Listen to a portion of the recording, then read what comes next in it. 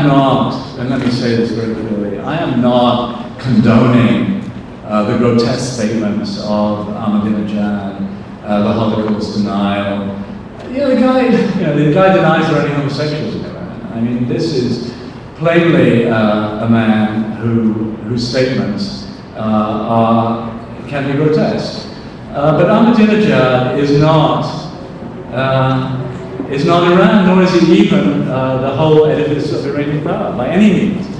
Uh, Khamenei is the most powerful authority in Iran. Ahmadinejad may well be gone uh, in June. Uh, the people I spoke to think it's quite likely that Khatami could win.